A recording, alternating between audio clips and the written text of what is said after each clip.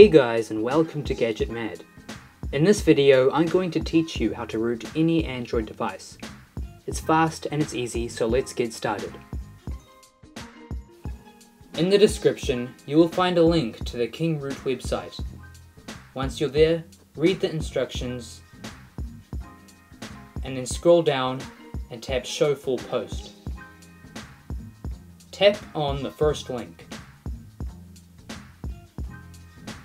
This will direct you to the final page. Scroll down to the bottom and tap Direct Download. KingRoot will start downloading.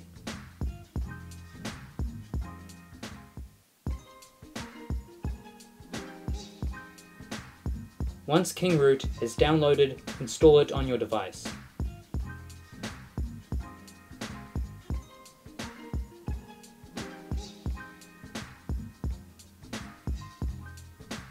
If you see a pop-up, press more details and then install anyway.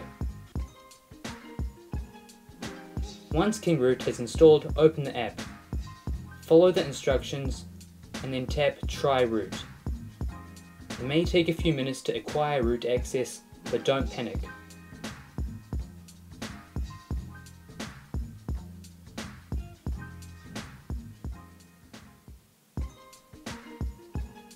After it has loaded, your device will be rooted.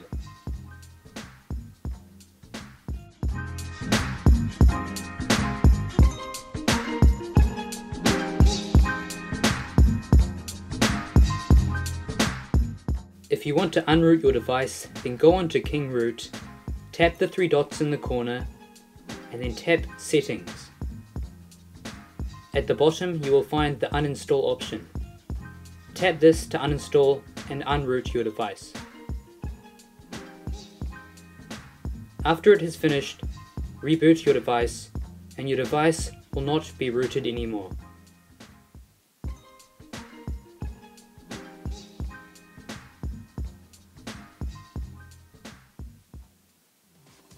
Thank you guys for watching this video.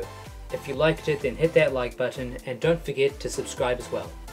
Thank you guys once again for watching, and I will see you in the next video.